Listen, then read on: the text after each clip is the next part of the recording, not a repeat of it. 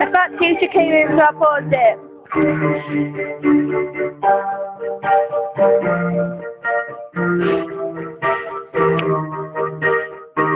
Thank you.